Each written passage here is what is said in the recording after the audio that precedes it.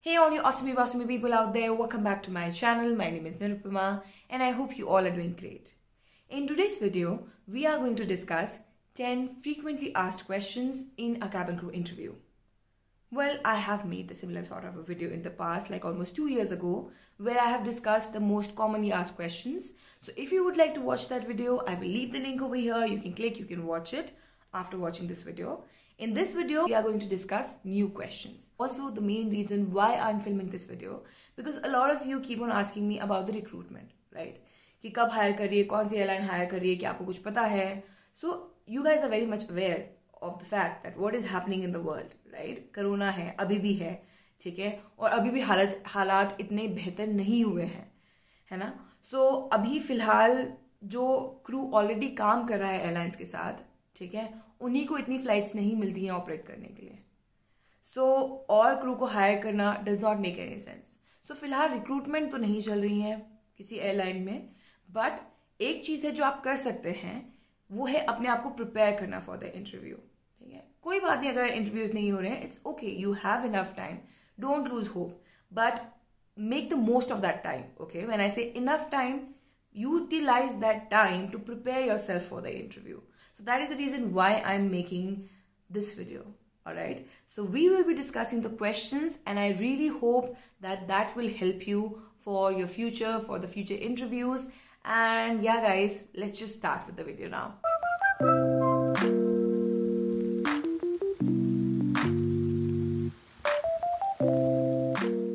The first question is, how would you cope with being away from your friends and family for a prolonged period of time? So, here they are looking for adaptability. Now cabin crew job is very different and very difficult. It looks like a cakewalk, but trust you me, it's not. Mentally you go through so many things, you have like you have no idea about it. So when they ask you this question, basically they want to check that would you be able to handle the pressure?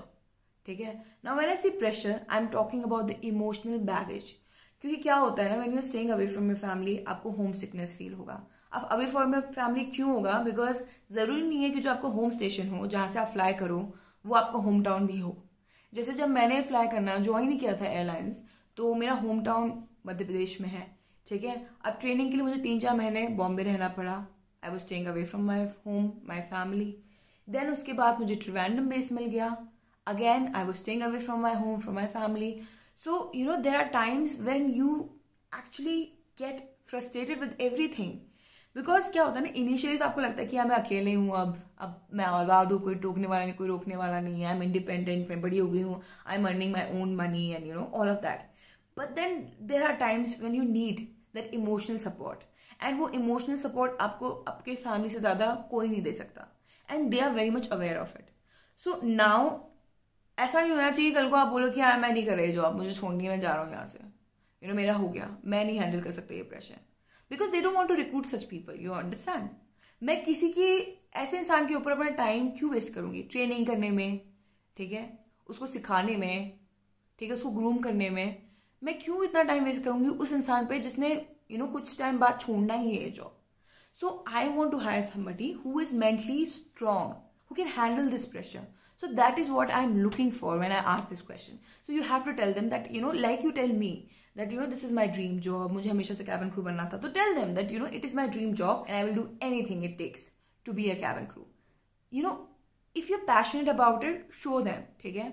And tell them that you are excited that, you know, you will be staying in a new place, in a new country. If you're flying internationally, then you have to relocate to a, altogether to a new country. So it will be no more a new state or new city. It will be a new country. So tell them that, you know you are excited about that. Show that excitement to the interviewer. तो उन्हें लगे, वो convince होना चाहिए कि चलो ठीक है मतलब ये इंसान अपने आप को संभाल लेगा, ऐसे नहीं कि रो दो के एंड छोड़ देगा because I know lot of people जिन्होंने एक्चुअल में छह महीनों में छोड़ दिया मेरे इतने सारे बैचमेट्स थे जिन्होंने they did not even fly for a year less in a year उन्होंने छोड़ दिया था ये जॉब ठीक है the reason could be different but I am telling you they don't want to hire such people. The next question is Do you prefer working alone or as part of a team? Now, by asking this question, basically they want to see whether you can work in a team or not. कोई भी flight एक single crew के साथ operate नहीं की जा सकती है there will be group of people and आपको उनके साथ कोऑर्डिनेशन के साथ ताल से ताल मिला के काम करना होगा ऐसा नहीं हो सकता कि यार मुझे ये बंदा पसंद नहीं है तो मतलब मैं काम नहीं करूँगा या फिर जो ये इंसान बोलेगा, वो मैं नहीं करूँगा। चाहे वो प्रोटोकॉल हो, चाहे वो एक प्रोसीजर क्यों ना हो, मैं उसकी बात नहीं मानूँगा। बेसिकली आप फ़्लाइट में जाके तू तू मैं नहीं कर सकते हैं। You have to work as a team ठीक है? अपने जितने भी इश्यूज़ हैं keep it aside and work together as a team make sure make sure you don't say I like to work alone मैं तो सारा काम खुद कर लेती हूँ, कभी मत बोलना। Right you always say that it is good to have people around you who are there to help you out and you can learn from each other and altogether, it will be a great learning experience for you. Simple. So, the next question is, how would you handle a disruptive or rude passenger? So ना flight में तो देखिए, ऐसे लोगों का आना जाना रहता ही है, जो कि आपसे रूडली बात करते हैं, बदतमीजी से बात करते हैं, गुस्सा करते हैं, बेफिजूल में चिल्लाते हैं। एटलीस्ट आपको लगता है कि बेफिजूल में चिल्ला रहे होते हैं, ठीक है? उन्हें लगता है कि उनके पास बहुत वैलिड रीजन है। ना ऐसी सिचुएशन में आपको, आप कैसे हैंडल करोगे? सो so, आपकी जो हैंडलिंग स्किल्स हैं बेसिकली वो वो जो इंटरव्यूअर है वो चेक करना चाहता है ठीक है? तो कस्टमर सर्विस हॉस्पिटैलिटी में हमेशा ये सिखाया जाता है कस्टमर इज़ ऑलवेज राइट तो चाहे कुछ भी हो चाहे आपकी गलती हो ना हो वो भाई सही है उसको चिल्लाने दो। तो ना अगर ऐसे आपको सिचुएशन दी जाती है आपको ऐसे क्वेश्चन पूछा जाता है तो simply you tell them that firstly I will let him you know vent it out जो भी गुस्सा है ठीक है? अगर वो चिल्लाए तो I will let him do that चिल्लाने दूँगा। पूरी बात सुनूँगा। ठीक है? सुनूँगी। मैं सुनूँगा क्योंगा मैं सुनूँगी। ठीक है? उसके बाद मैं एनालाइज करूँगी। ठीक है? अब मैं जो चिल्लाना जो है ना, उसको एलिमिनेट करूँगी। उसको मैं इफ़ेक्ट नहीं होने दूँगी। बिकॉज़ अगर कोई इंसान जब आप पे गुस्सा करता है तो आपको भी बुरा लगता है या आपको गुस्सा आता है। तो जो, ये दो इमोशंस है ना, आपको सोचने नहीं देंगे। तो आपको ये दोनों इमोशंस को आगे नहीं बढ़ने देना है, इनको हटा देना है। एंड वो जो बोल रहा है ना, वो इन्फॉर्मेशन गैदर करनी है so that you can analyse you can come up with solution ठीक है? बिकॉज़ ऑफकोर्स उस कस्टमर को कोई प्रॉब्लम है, उस गेस्ट को कोई प्रॉब्लम है, तभी वो चिल्ला रहा है या जो भी कर रहा है, ठीक है? So you will tell you will try to understand the problem and then try to resolve it ठीक है? Apologise once the person is done never interrupt another thing never interrupt when a passenger is talking let him finish और let her finish and then if you have something to say you can go ahead with that try to come up with the solution don't say कि sir आपको गलत फहमी हुई है. Never say that okay tell them things like you know I understand what you are going through और I can I can I can totally relate to that something like that कि उसको लगे कि हाँ मतलब इसको मेरी बात समझ में आ रही है। इसे ये नहीं लग रहा है कि मैं बेफिजू में गुस्सा कर रहा हूँ। ठीक है? तो at no point you will make him feel like that कि you know why you are making such a fuss about it तो वो एक चीज़ है जो आपको करनी है। तो you will let him shout at you you will listen to him carefully, and then you will analyze the situation and you will try to come up with a solution. ये तो एक चीज़ हुई। कभी कभार क्या होता है डिस्ट्रप्टिव पैसेंजर्स होते हैं कि भैया उन्होंने कुछ चीज़ नहीं सुननी है, ठीक है? तो कुछ सही चीज़ भी होगी ना सेफ्टी से रिलेटेड भी होगी। ना you will never compromise with the safety जैसे कि सीट बेल्ट सीट बेल्ट पहनना बहुत ज़रूरी है। तो ये फ़ैशन नहीं है, ये सेफ्टी की बात है। तो जहाँ सेफ्टी आ जाती है you will not compromise with that now here you can be rude ठीक है? Because the person is not listening to you so does not mean कि sir wear your seat belt I am telling you to wear your seat belt you can do that you can be rude but you have to be assertive so formally you will tell the passenger that it is mandatory for every soul on board including us to wear the seat belt for take off and landing and for turbulence as well so please wear your seat belt be very firm so that he और she takes you seriously so आपने बस यही करना है।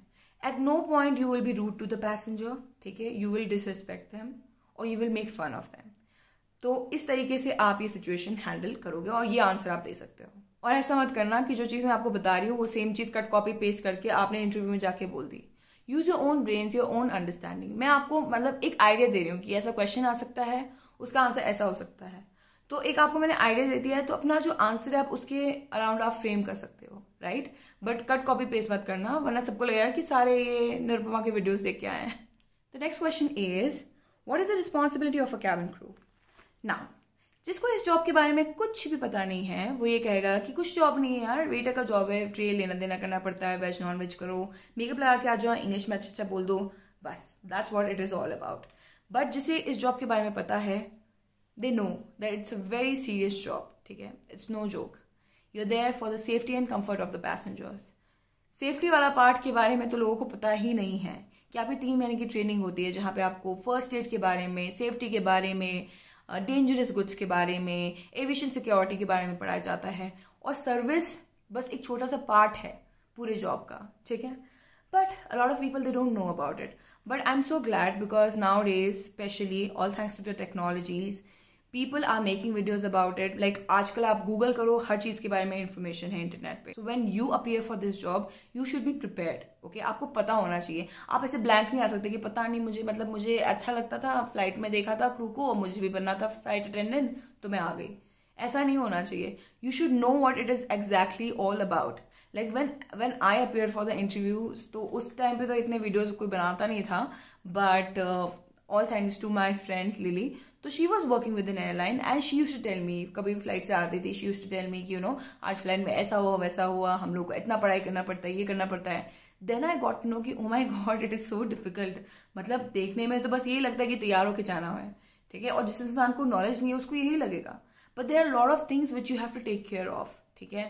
तो आपको इस सब के बारे में पता होना चाहिए। And I make a lot of videos about it which is there on my channel so I I really hope कि आपने वो सब वीडियो देखी हो और आपको अंदाज़ा हो गया होगा कि ये जॉब में क्या क्या चीज़ें आपको करनी पड़ती हैं what it is all about so whenever they ask you this question make sure you go prepare for that next question is why do you think you can be a cabin crew ऐसी कौन सी quality है आप में कि आप cabin crew बन सकते हैं?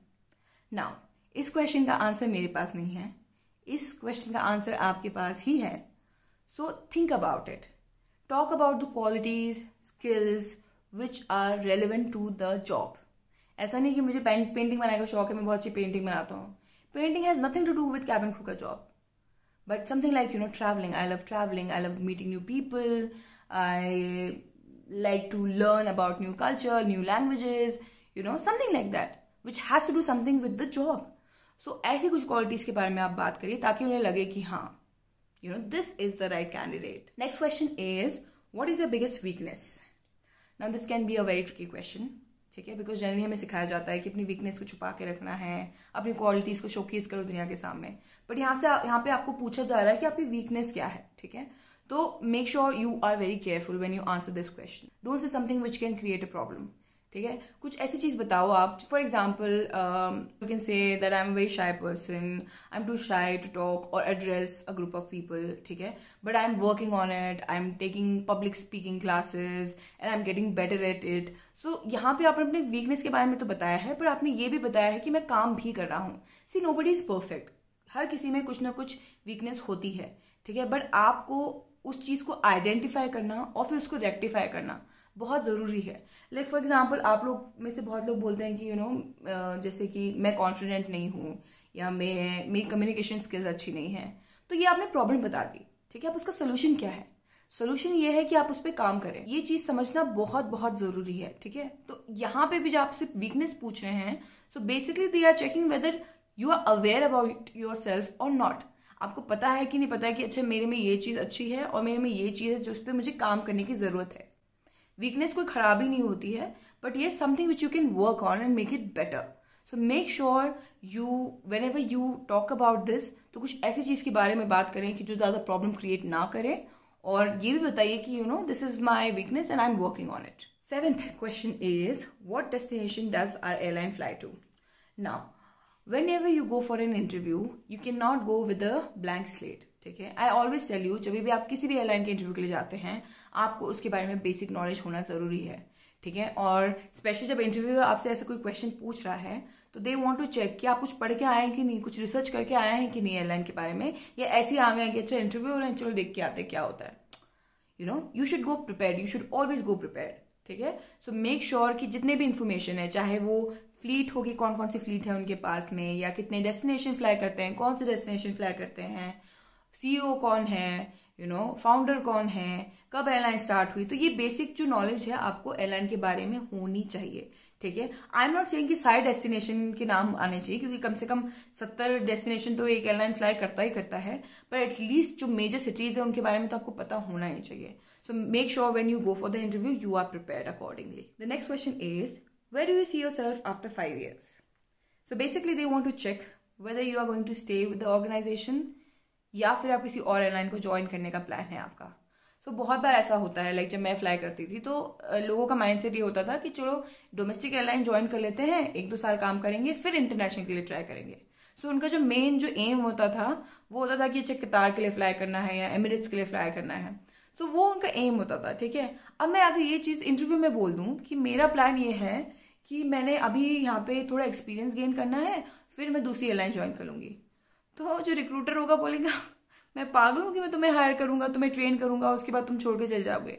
क्योंकि एक हर एम्प्लॉय को जिसको आप रिक्रूट करते हो, वो इन्वेस्टमेंट होता है। आप उसको ट्रेनिंग में कितना पैसे खर्च होते हैं? जो आप ट्रेनर्स को देते हो, जहाँ पे ट्रेनिंग अकेडमी होती है इतना पूरा खर्चा होता है एक एक बंदे के ऊपर।